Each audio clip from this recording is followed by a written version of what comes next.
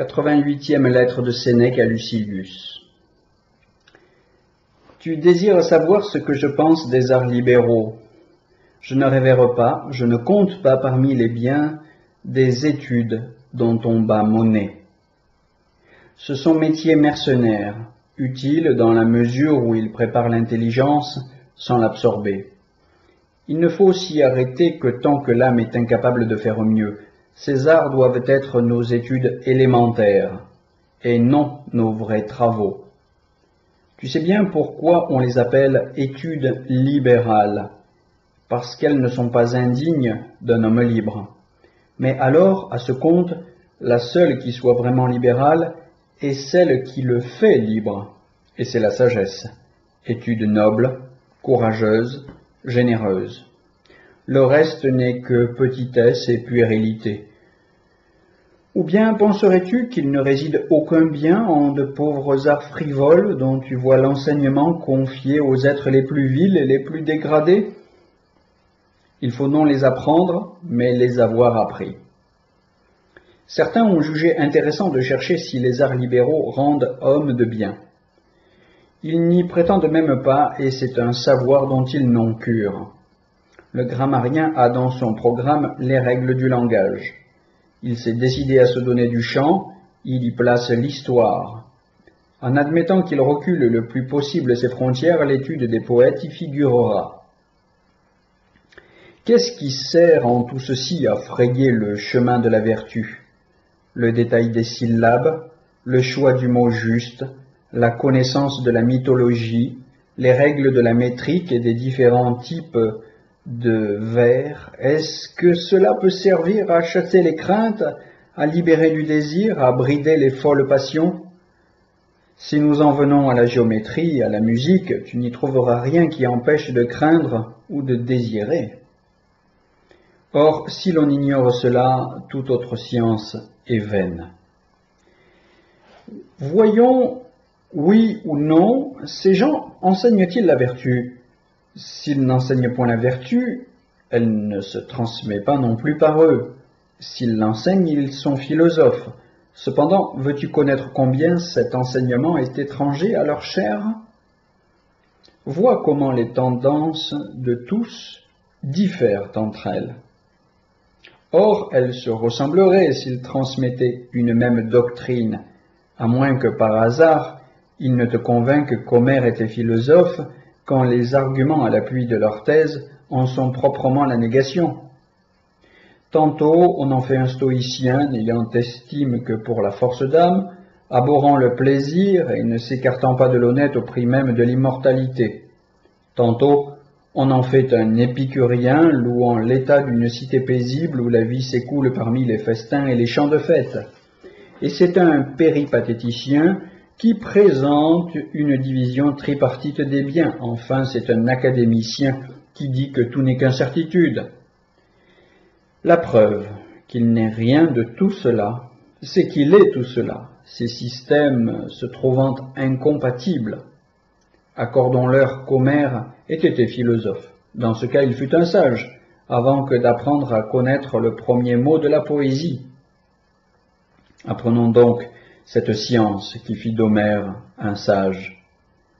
Quant à rechercher qui est l'aîné d'Homère ou d'Hésiode, ce point ne présente pas plus d'intérêt pour moi que de savoir pourquoi Écube, cadet d'Hélène, portait si mal son âge. Dis-moi encore, je te prie, si rechercher l'âge de Patrocle et d'Achille te semble d'un intérêt capital. Tu te demandes en quelle contrée errait Ulysse au lieu de nous apprendre le moyen de ne pas errer toujours? Je n'ai pas le temps d'écouter quand on se demande devant moi s'il fut battu du flot et des orages entre l'Italie et la Sicile, ou au-delà des limites du monde connu, vu qu'il lui était impossible d'errer si longtemps dans un trop étroit espace.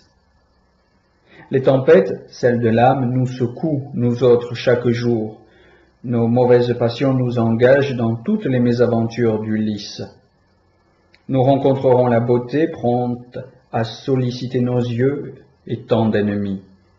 Ici d'implacables monstres friands du sang humain, là d'insidieuses douceurs qui charment nos oreilles, là encore des naufrages et toutes les variétés du malheur. Enseigne-moi comment je dois aimer ma patrie, ma femme et mon père, comment je dois, sur un débris de nef naufragé, qu'il n'y ait pas de dissonance dans mes volontés. Tu m'apprends quels sont les mots plaintifs? Apprends-moi plutôt à ne pas exhaler de plaintes dans l'adversité. Le géomètre m'apprend à mesurer de vastes domaines. Il ferait bien mieux de m'apprendre la juste mesure de ce qui suffit à l'homme. Il m'apprend à compter, il m'assouplit les doigts au calcul qu'inspire l'avarice. Mieux vaudrait m'apprendre que tous ces comptes-là ne servent à rien, qu'un homme n'est pas plus heureux parce que les revenus de son patrimoine lassent une équipe de comptables, qu'il ne possède au demeurant que du superflu, ce capitaliste qui sera terriblement malheureux s'il doit faire un jour lui-même le compte de tout ce qui lui revient. Que me sert de savoir diviser en fractions un bout de champ si je ne sais pas partager avec mon frère? Que me sert de supputer avec précision le nombre de pieds d'un arpent et de saisir d'un coup d'œil jusqu'à une omission de la perche d'arpentage si je me chagrine pour peu qu'un voisin trop convoiteux grignote mon avoir il m'enseigne à ne rien perdre de ce que j'ai, moi je voudrais apprendre à le perdre tout entier d'un cœur joyeux. Mais c'est du chant de mon père et de mon aïeul qu'on m'évince, diras-tu. Et avant ton aïeul, qui en était l'occupant? Expliquerais-tu, je ne dis pas quel homme, mais à quel peuple il appartenait? Tu y es entré non comme propriétaire, mais comme métayer.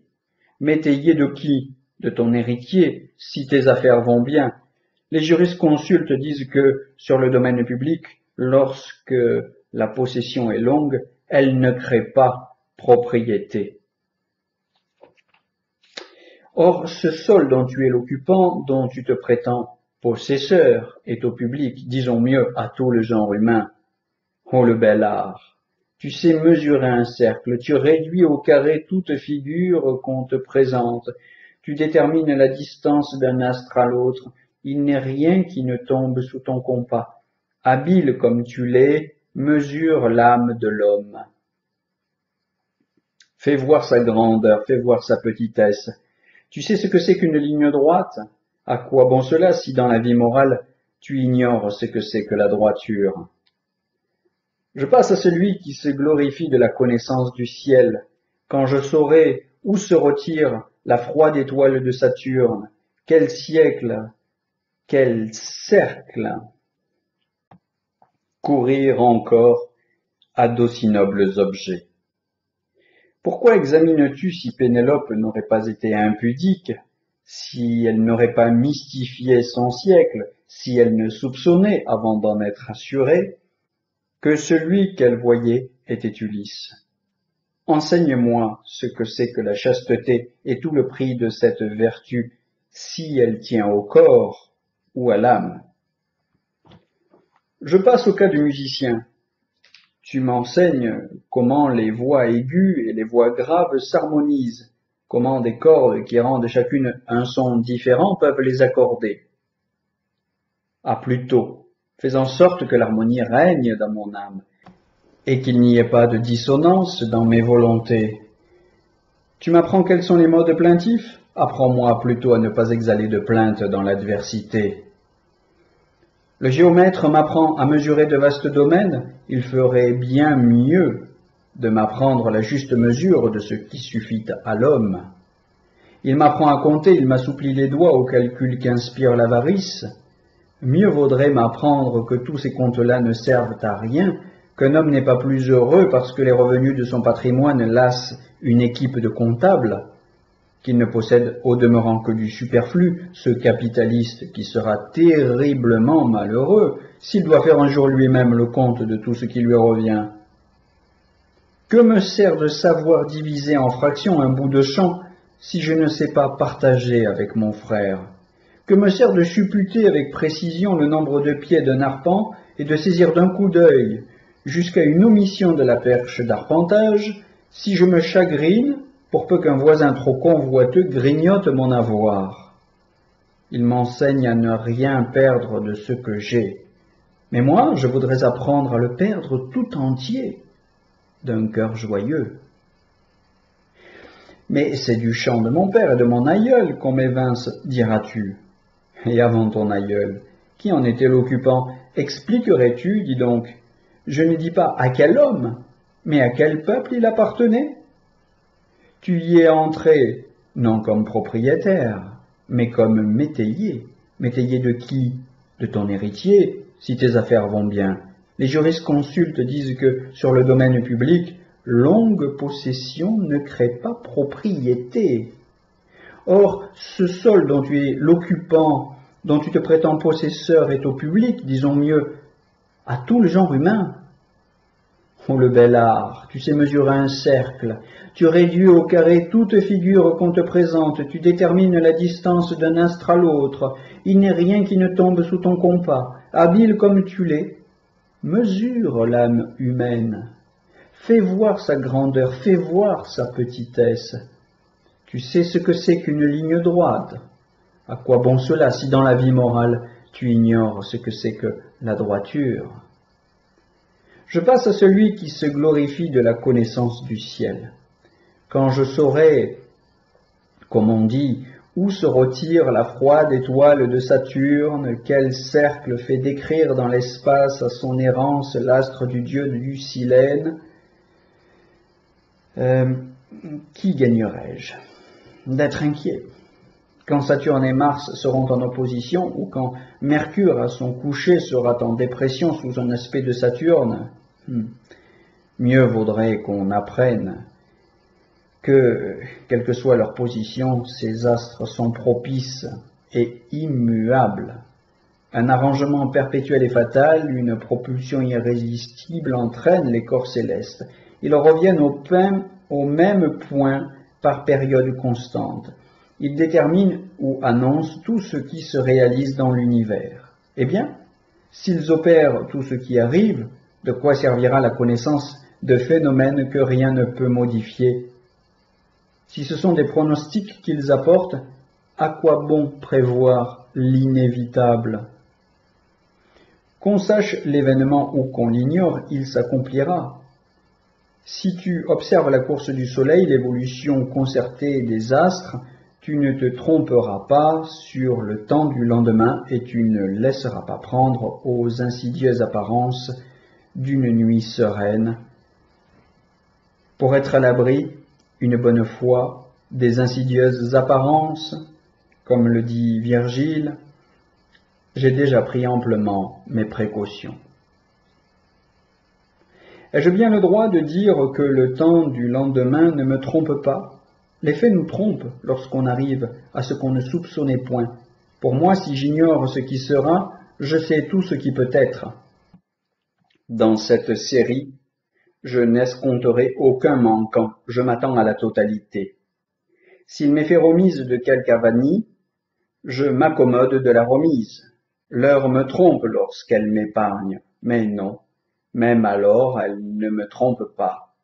Car si je sais que tous les accidents sont possibles, je sais aussi qu'ils ne se produisent pas dans tous les cas.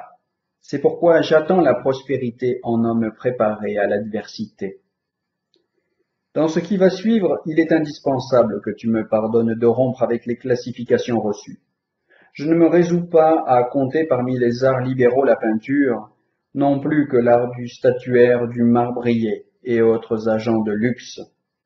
Il en est de même des lutteurs et de leur science toute faite d'huile et de poussière. Je les exclus de ma conception des études libérales. Ou bien j'y laisserai entrer les parfumeurs, les cuisiniers, bref, quiconque met son talent au service de nos plaisirs.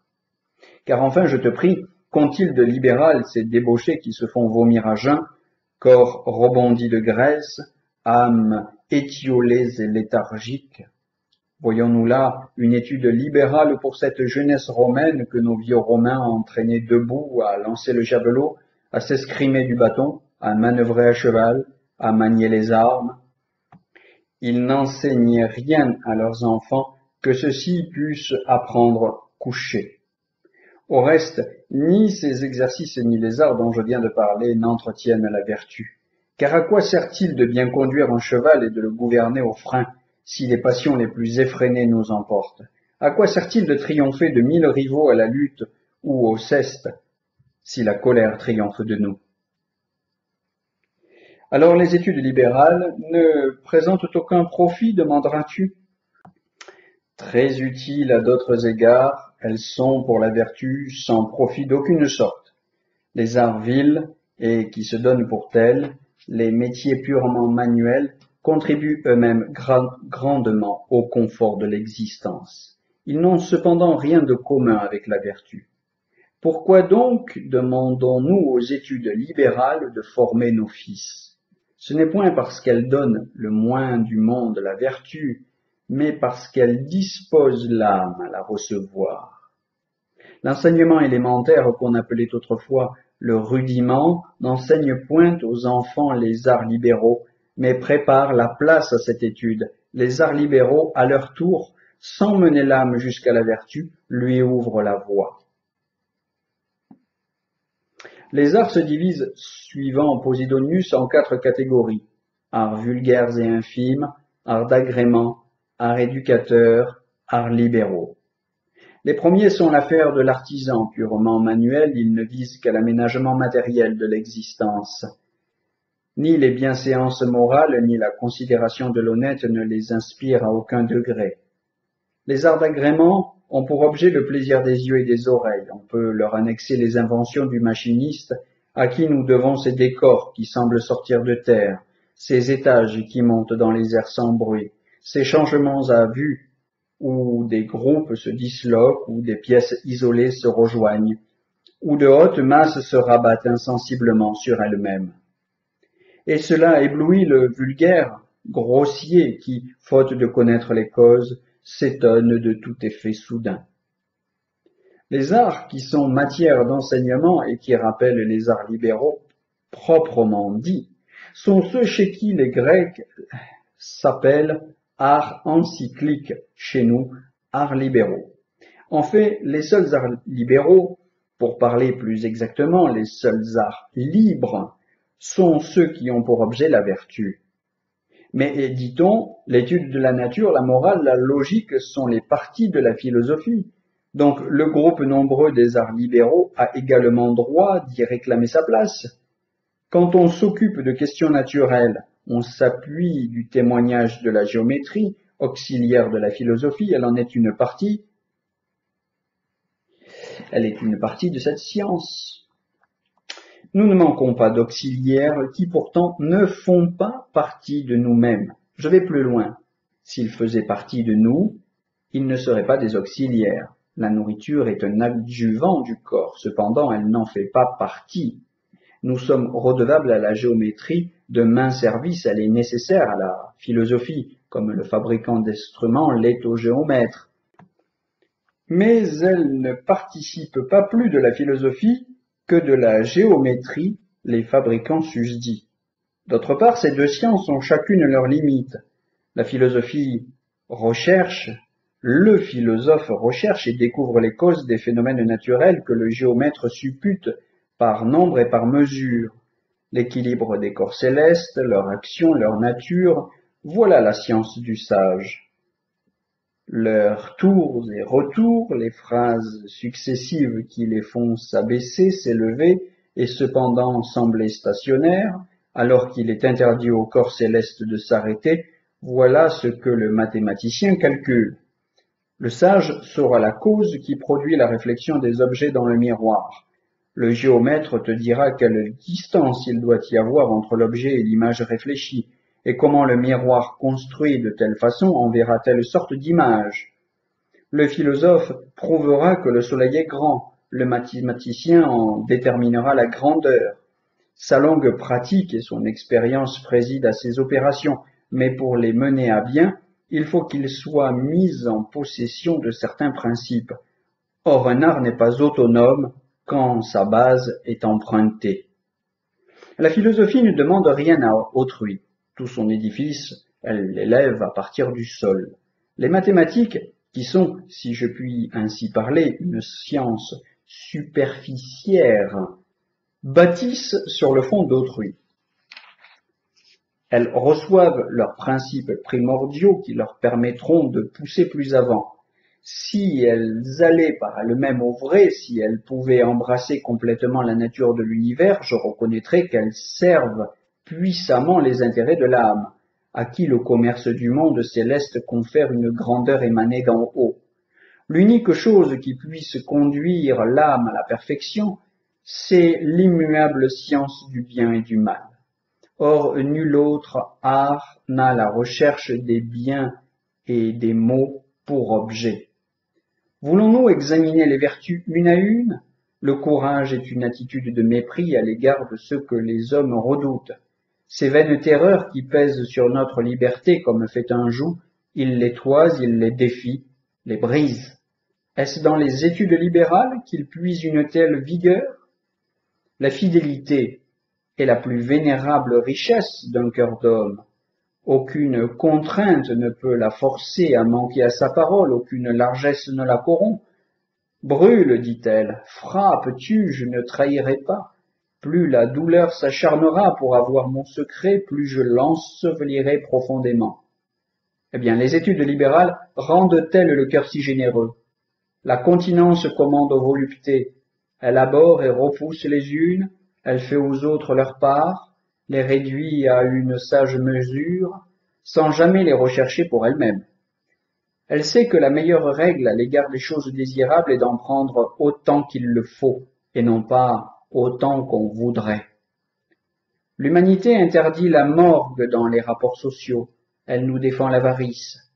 Ses paroles, ses actes, ses sentiments ne respirent qu'affabilité et bienveillance. Aucun malheur en son estime ne lui est étranger. Si elle chérit le bonheur qu'elle a en partage, c'est surtout parce qu'il doit servir à faire quelque heureux. Est-ce que ses conduites sont au programme des arts libéraux? Aussi peu que la simplicité, la modestie ou la modération, aussi peu que la frugalité et l'économie, aussi peu que la clémence qui épargne le sang d'autrui comme si c'était le sien, et qui sait que l'homme ne doit pas être prodigue de la vie des hommes. On nous dira, puisque vous déclarez que sans les études libérales on ne parvient pas à la vertu, comment pouvez-vous affirmer qu'elle n'y contribue en rien? On ne parvient pas non plus à la vertu sans manger, et cependant le manger n'a aucun rapport avec la vertu. Un amas de bois ne contribue pas par lui-même à faire un navire, encore que le navire ne se fabrique qu'avec du bois. En un mot, ne vous imaginez pas qu'une chose sans laquelle on n'en saurait faire une autre aide à la faire. On peut même dire que sans les arts libéraux, il y a moyen d'arriver à la sagesse, car encore que la vertu doive s'apprendre, ce n'est point par eux qu'elle s'apprend. Pourquoi me persuaderais-je qu'on ne saurait être un sage si l'on ne sait écrire puisque ce n'est pas dans des choses écrites que la sagesse réside? Elle n'enseigne pas des mots, mais des actes. Je me demande même si la mémoire n'est pas plus sûre quand elle ne compte sur aucun secours étranger. La sagesse est une grande et vaste chose. Il lui faut faire libre carrière. Il lui faut étudier le divin et l'humain, le passé et l'avenir, le corruptible et l'éternel, ainsi que le temps qui soulève à lui seul tu vas le voir, tant de questions. D'abord est-il quelque chose par lui-même Ensuite, y a-t-il quelque chose qui existe avant le temps et sans lui? A-t-il commencé avec le monde ou, du fait même que quelque chose a existé avant le monde, s'ensuit-il que le temps existait aussi? Rien que sur le problème de l'âme, les questions sont innombrables. D'où vient-elle? Quelle est-elle? Quand commence-t-elle d'être? De combien est sa durée? Passe-t-elle d'un lieu dans un autre? Change-t-elle de domicile, successivement jetée d'une forme en une autre? N'est-elle qu'une fois en servage? Pour errer après sa mise en liberté dans le grand tout. Est-elle un corps ou non?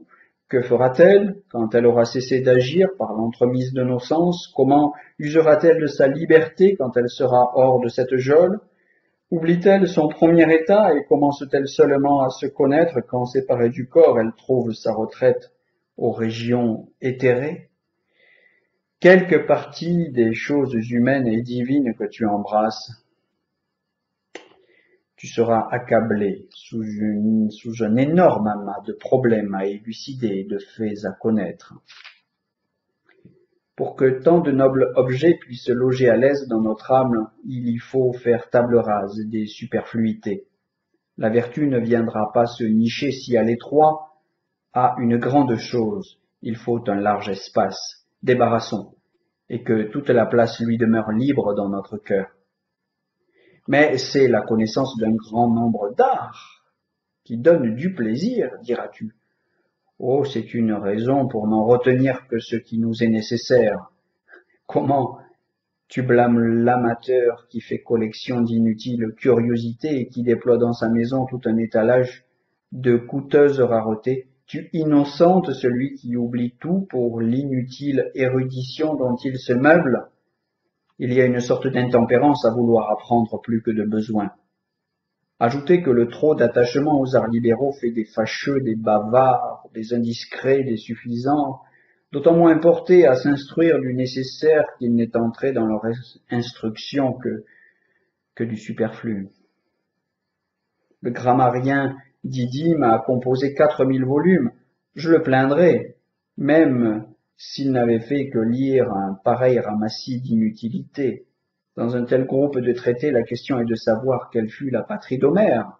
Dans tel autre, qui était véritablement la mère d'aînés, ailleurs si la vie d'Anacréon fut plutôt celle d'un débauché ou plutôt celle d'un ivrogne, si Sappho était une prostituée, sans compter d'autres fadaises qu'il faudrait désapprendre si on les savait. Et puis, que l'on vienne dire que la vie est courte, même chez nos stoïciens il y aurait à faire, je te le montrerai en temps voulu, plus d'une courbe sombre. Il en coûte bien du temps dépensé. Il faut bien fatiguer ses auditeurs pour faire dire de soi Oh, le savant homme, contentons-nous de ce titre plus simple. Oh, l'homme de bien. Vraiment, je compulserai l'histoire de toutes les nations pour savoir qui le premier a fait des vers. Je supputerai sans faste pour me documenter le laps de temps qui sépare Orphée d'Homère. Je passerai en revue les signes pédantesques dont Aristarque embrochait les vers d'autrui, et je consumerai mes jours sur des syllabes. Non, alors que faire? Irais-je plutôt prendre racine dans le sable des géomètres? J'ai donc oublié le salutaire précepte. Épargne le temps. Il faut que je connaisse ces choses. Dès lors, qu'est-ce qu'il me faudra ignorer? Appion le grammarien, qui sous Caligula courut en charlatan toute la Grèce et qui fut salué de cité en cité comme un second Homère, prétendait que ce poète avait fini de traiter ces deux sujets, l'Iliade et l'Odyssée, quand il composa un prélude à son ouvrage, embrassant toute la guerre de Troie. Il alléguait pour preuve qu'Homère avait accolé à dessein dans le premier vers deux lettres indiquant le total de ses chants. Voilà ce que l'on est obligé de savoir quand on veut savoir beaucoup. Pense plutôt à tout le temps que te dérobent les maladies et les tracas des affaires publiques et le tracas des intérêts privés et le tracas des menues tâches quotidiennes et le dormir. Mesure ta vie. Il n'y a pas place pour tout cela. Je parle des études libérales et les philosophes, combien n'ont-ils pas d'occupations superflues et sans rapport avec la pratique de la vie? Eux aussi se sont ravalés à compasser des syllabes, à disserter sur les propriétés des conjonctions et des prépositions. Ils ont couru sur les brisés du grammarien et du géomètre. Tout ce qu'il y avait d'inutile dans ces sciences, ils l'ont transplanté dans la peur. Qu'est-il advenu? Ils ont mieux su l'art de parler que l'art de vivre. Apprends combien la subtilité poussée à l'excès fait de mal combien elle attente à la vérité. Protagoras dit qu'on peut soutenir également le pour et le contre dans toute question, à commencer par celle-ci. En toute question, le pour et le contre sont-ils soutenables? Nosifane prétend que la non-existence des objets qui paraissent exister n'est pas moins probable que leur existence.